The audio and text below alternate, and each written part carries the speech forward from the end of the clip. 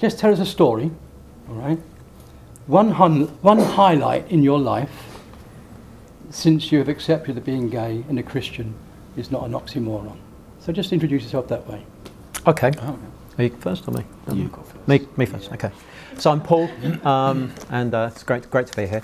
Um, a number of things have happened over the last year. I, I only came out or was outed um, by my wife and son, and I deserved it about 15 months ago, so pretty recent. And um, uh, a number of things have happened. But the story I wanted to tell you, I've told very, very few people indeed, but I just thought it would be good, good to say tonight. Um, and, and you know, when that happens, you do question your faith, question your theology. I did. I did a theology degree, um, but everything's sort of up in the air, and it was for me. And for the only time in my life ever, um, a week after it all happened, I contemplated suicide. Stood on the edge of Wandsworth Station and was going to throw myself under a train, and then. I really felt God's God speaking to me. I didn't do that, but I came that close. But um, very, very shortly after that, like literally within a couple of weeks, um, I was di- diagnosed with um, quite a rare form of cancer. There's only only around 3,000 people a year in the UK get that, and um, I'd um, I'd had one appointment, and I, was due in for another one, so I had an appointment, and. Um, to, to keep the story, story short, um, I've never experienced um, physical healing through prayer in my life. I have prayed for other people and I've seen it in different situations within the church with friends. But um, uh, literally, I had a, a, growth on my foot. Um, it, it grew uh, over, over several weeks, quite fast. I was under the Royal Marsden, under a you know, senior surgeon there in the team. And um, but um, some Christian friends at that time who um, I'd been sharing with what, what was going on, Christians who did stand with me, said, We're going to pray about this and we're going to pray for God's healing. And I didn't have the faith for that or the belief for that, really, to be honest. I think it's easier to pray for other people than it is to pray for yourself so often. And, and, and that was where I was. But, but anyway, they, they prayed for me. And, um, and slowly, and, and I was told this lump will get bigger and they're going to have to, uh, I'm going to have to go for surgery and they need to, to cut it out. And um, so anyway, the people start praying and the thing starts to go down. And, um, and bear in mind, it was diagnosed, say it's a rare form, I can give you the Latin name and, and everything else. There's not a lot of understanding of it because it's quite a small contingent of the population get it, but, but relatively serious and can go to other organs and things. So, um, uh, but anyway, I was due to go in for surgery in January, um, towards the end of January. And um, so people were praying and this thing got smaller and smaller and smaller. And eventually it ended up, it was just a pinprick on my foot. Um, and you know from this size right down you could hardly see it. But anyway I end up in the Royal Marsden. Um, my son was there with me to, to, to, to stand with me during that time. Tough time for him because I'd only just come out as gay uh, three or four months before. And um, I'm in there in the morning, I put the gown on, they gave me one of these injections to sort of relax you, and I'm upstairs in the ward waiting, they do blood pressure and all the stuff they do. And then the guys come along and wheel me, I have to lay on this gurney, and they wheel me down to the lift, take me down to the basement, and, um, and, I, and I go into this room, and through the double doors, I three, three doctors in green gear and their masks and everything, and the surgeon, surgeon guy, the top guy, you know, very arrogant, these guys, aren't they, sometimes, you know, surgeons. And, uh, and he comes up to me, I'd met him two or three times, and um, he said to me, "Well, let's just have a look before we take you in." And um, he said, "We're going we're to um, anaesthetise the foot. You know, we've relaxed you." And, and the anaesthetist was sitting there as well. And um, so he pulls back the cloth and he looks and he says, "Hmm." He says, "What's happened here?"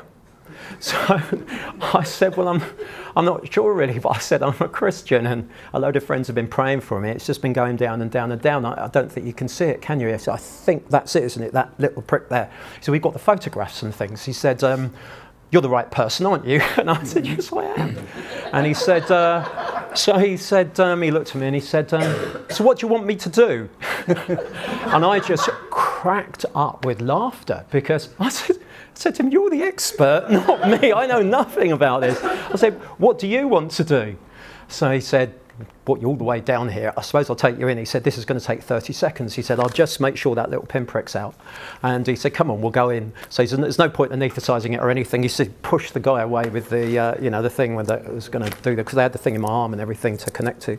And um, they wheeled me in. I was totally awake. And he just sort of fiddled around with a little knife, hardly felt anything like a pinprick, and put an elastoplast on and wheeled me out. And um, so that, you know, that has gone and, and that was it. But I, it is a funny story, but it's quite an incredible story. For me, I was in tears. Afterwards. Um, but for me, it, it, it emphasised, I believe, you know, for me, that God loved me so much, and He was going to do something so special at that moment in my life when I felt, you know, what is this all about? What have I done? I feel so guilty working all that through. Um, and I hold on to that story. I tell that story only to close friends, but the first time I told it to a number of people tonight. But it's a really special moment, and it reminds me constantly that God loves me as a person, and you know I'm really special to Him, and uh, I matter to Him so much that He would go and do something like that. That's my story. Thank you. Over to you. Sorry. Be- before you had that beautiful outcome of the story, when you obviously got the diagnosis you had cancer, and you just came out, Yeah. that didn't feel that great, didn't it? Uh, what are coming out?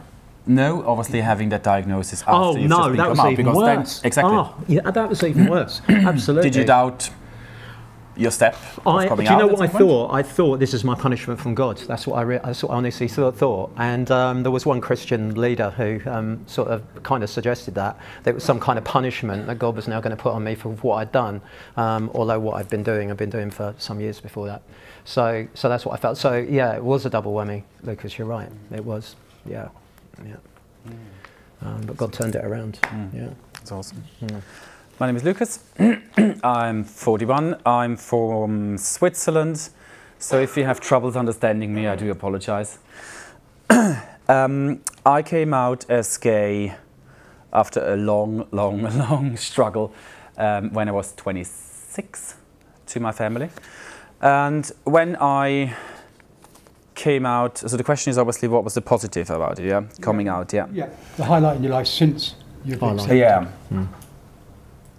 I just go and get the corner. When I came out to my parents, um, my parents told me not to tell my grandparents and my grandmother.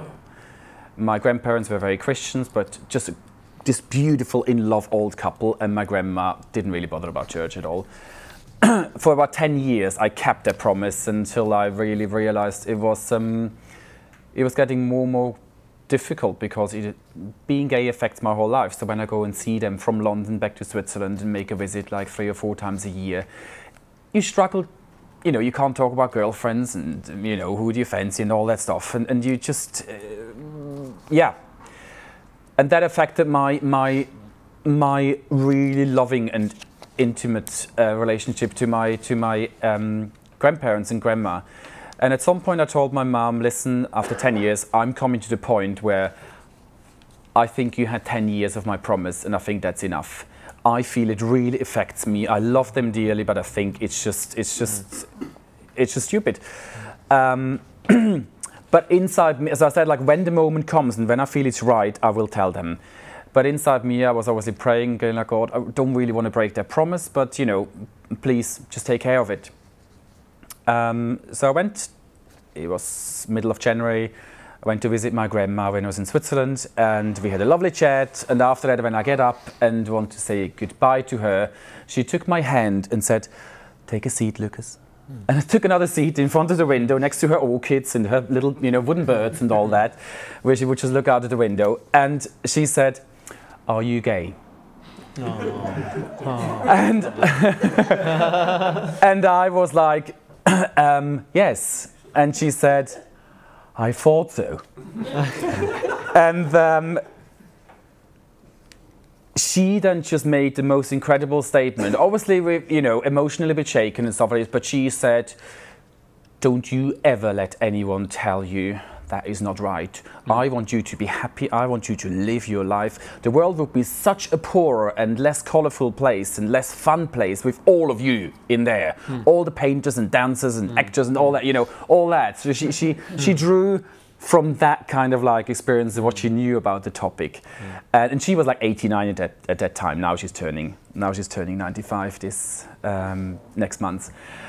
And she just said like, because of you, the world has so much more beauty and color and richness and, and word and song and all that. And then she said, um, a couple of weeks ago, there was a young guy, mid 20s, buried in the village in the church, and it was a strange announcement of death in the newspaper. And she said, like, maybe he was someone who had a secret that he felt he couldn't share with anyone and that was what he thought the only solution to come out, or the only the only way out. And she said, like, you make sure that's not going to happen to you. I'm backing you up all the way. And obviously, she wanted then to ask, you know how my parents would feel about it? They were struggling with it. and um, as soon as I left, she grabbed the phone and wanted to speak to my dad and told him off like anything. she was like, How dare you? You going to church and you're preaching to me, trying to go to church and all that. So she was like, it was just hilarious. And since then, that it's not very much connected with my faith in a way, but yes, it is because she has just been the most incredible woman in my life now since in the last years and before already. She had a very, very out of the norm life. She felt to the biggest part of her life like the absolute outsider, the absolute like I'm not part of that, and just like I have a rubbish life and this is not fair and all that. And it and through that we became so close as like blood brothers in a way. And my partner, she's taken my partner in as if he would be her only her, her own son, which is amazing. Um, it's brought us so so close together, and for me, it's just beautiful to see and to know I've got such a, special connection to her mm. through that. Yes, she's not she's not a believer. She doesn't believe in Jesus, but she is mm. she's getting there maybe with 110. so that that's just been one of the special things that motivated me to stand up and to be courageous, mm. and as well just baffled me a little bit to see people that I would not expect would stand up so strong and so firm and so convinced and just make a stand and shelter us. Mm. Thank you. Mm. Thank you very much. So the next question it's nice hearing these anecdotes and these stories. Both of you have mentioned about the church, and quite rightly, really, the LGBT community is quite suspicious mm. of the church and of Christians as well. And all they have seen is the negative things in the church. Given all the, I'm reading this, given all the horrible rhetoric that has been aimed at the LGBTI community, and in that sense, at both of you personally, mm by Christians and Christian leaders. What is it about Christianity itself that's so compelling that you haven't been turned off completely by so many of its messengers? Now, I'm going to give you four minutes each. Okay. You've got to give them, right? Four minutes each. Because, like most gay men, they love the sound of their voice. I do. I'm going to talk real fast. So, um, one, one, of the worst things that happened to me was a mentor of 30 years, Christian leader, who, when I told him, he sent an email to me with this obscure bit from the uh, King James Version saying I was going to go to hell and I needed to change my mind. You know, it was horrendous. I'm sure all of us have, have had that sort of thing. But um, the things for me were I met the three wise men and uh, God introduced me to the three wise men. One of them is Dave Morton, one is Jeremy over there, and the other one was Steve Chalke. Steve Chalke was first, I knew Steve. But really, uh, people who knew uh, what they were talking about over many years. And, um, you know, I'd never met Dave and Jeremy before I knew Steve going back. But the three wise men were really helpful in terms of their own experience, helping me with my theology, because I had a very traditional evangelical theological degree. So um, I thank God for those men who came into my life and have become friends. Um, that, that, have helped me. And, and the other thing was, um, having been a Christian for uh, nearly 40 years, um, understanding the love of God. And from a theological point of view, understanding that, yes, God does love us unconditionally, that the church is supposed to be an expression of God's love. That was quite hard to sort of put aside, even with some of the nasty vitriol that I had from some Christians, not all, lots of people were really supportive. But, but, but there was that. And then the third thing, I'm just looking at my, uh, the three wise men 40. Um, oh, yeah, and, and I did a whole load of reading, Dave. And um, I, I, was fortunate to be away uh, two months in, in the first six months of the, that, that time in the States. It was all planned at holidays that I was supposed to have, and my wife didn't go because we'd split, but I went. And I did loads and loads of reading, and somebody said that I'd probably done enough to get a PhD, but I just read every Christian leader I could find and people outside the church and their thinking on LGBT, and realised there were a lot of uh, good leaders. Um, Steve introduced me to Tony Campolo. I sat here with him for an hour and a half when he was in London. Fantastic time, very funny man, but obviously very, very on the ball theolo- theologically, and I needed to get my mind straight. Um, and so, uh, being having the time to do that and meeting people who told me, "Why have you read this guy? Have you read that book?" that really helped me understand actually what God's perspective was. Um, so I sort of wobbled, um, I realised actually there's some amazing and an increasing number of amazing uh, leaders and people that I was beginning to respect and get to know who um, said this is bunkum really and God loves us all unconditionally and um, you know you're, you're like a four leaf clover. That's my thing. I see a four leaf clover and um, you know God said you're like the four leaf clover. You're actually the special clover. You're the most beautiful one. Yeah you know I created you in that way because you know everything I created is, is is is unique and special and everything else and you are special and and gave me that vision of that and um, through my understanding I realized a bit like Lukas said and what your grandmother said you know about what LGBT people often bring into the world um, because of certain traits and DNA um, I began to understand that. So it kind of kept me on course really and uh, and obviously finding a church that I just absolutely love without promoting Oasis because lots of you are not part of Oasis but you know fantastic church where the unconditional love of God is expressed, you know, in reality and practically, you know, through people that you meet. And um, so that, that's really helped me, and, I, and I've kind of held on to it. Is that four minutes yet? Right, you've still got another 45 seconds. Oh, I haven't. oh, no. Well, there you go, see, Dave. I'm not, I'm not Oh, wow. like that. Oh, well, you know, I better hand over to you, didn't I? Before we hand over to Lukas, any questions you'd like to ask? Now, you said you've been a Christian 40 years. 40 years, yeah. So how old are you now then? Oh, gosh. you, I knew you'd say that. I'm 61. So, uh, yeah, so Dave. you can work that out. look it. Oh, thank you, Dave. You did once. I know. Um, It's really lovely, isn't it? eh? It's lovely. right, any questions you'd like to ask me about his story?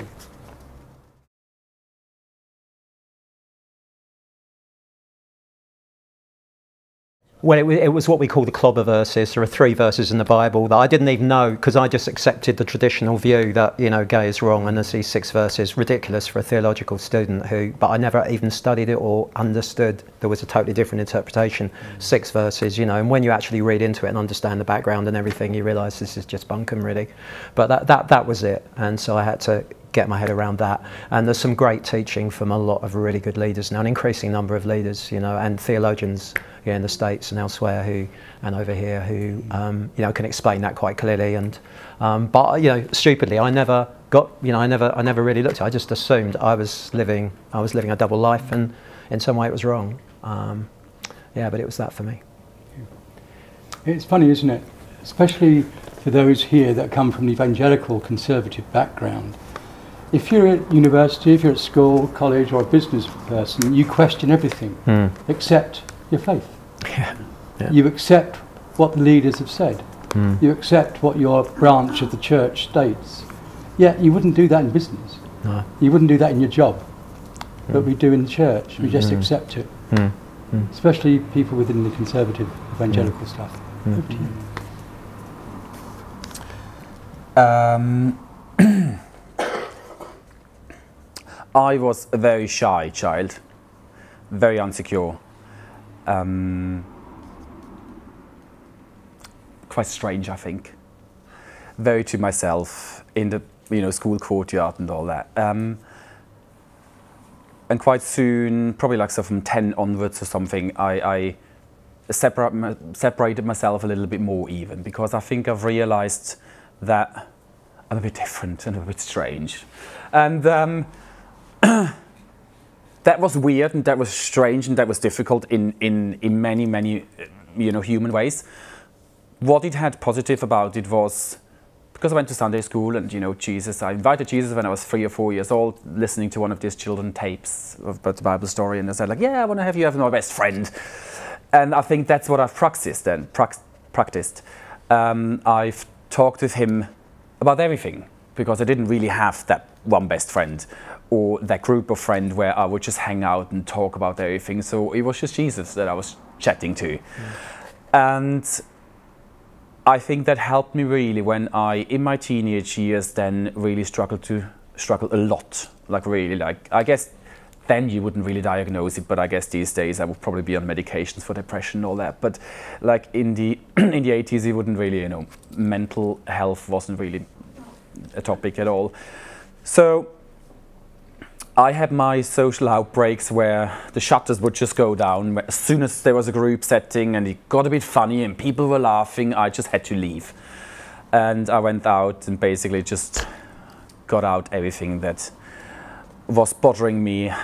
And every time when I was lost for words, when I had no words left, I was out in the nature and somehow that peace, that quietness, that still small voice was just there saying like, it's okay, I'm here mm. and I love you. Mm. It's okay, we'll get through it day by day, step by step. Mm. And I think that period, like in my teenage years, between like 14, probably like even like 18, something like this, up to that, helped me really to build my not just Sunday school based faith, but individual faith with Jesus. He became my best friend. He became the one I talked to. Mm. I'm probably out of time, right? Okay. Mm. Um, and that helped, helped, helped to just separate the God that loves me and the institution church, which is a human institution, yes, with a divine task to, you know, to be representatives on earth, but it's a human institution. We all disappoint. We will all hurt each other again, whether we do it on purpose or not on purpose, but it just happens. That's just how it is. Get over it. Mm. And that we all probably know that that separation is probably one of the most valuable uh, things that you can get aware of in your life just to not pour out the baby with the bath water, but actually realize God is not equal to church necessarily. And that helped me, for example, when years later my church leader team came to me and said, I was a worship leader and sa said, um, um, we just think it would be good to pray and, you know, cast out some demons of you. You know, we just want to see whether, you know, there is some around there. And I think that can very be traumatic for many, many people. But I laid there, we went into the little room and I went there on the table, laid there, and inside me I was praying, I was calm and praying, okay, well, if there is a demon in me about homosexuality, well, then get it out. Of course, I don't want that. But if there is not, it shall not define, that experience here shall not define me. Mm. Because I know that you love me and I know that you are God, whatever struggles I have ahead of me. So I guess for me, really, of course, what, what Paul said as well, it's um, there were loads of struggles ahead of me then in churches and you know as soon as you have a partner a boyfriend then you know you can't be a leader anymore some and then coming to this church yes really has helped me as well. I think i have just planted my little plant into a mm. fertile ground where i can flourish and where i can where i can bloom where suddenly like you can you can be active again where you can participate where you can help and it's it's it's appreciated where we can grow and hmm. talk about and encourage each other, and that is just hmm. purpose, isn't it?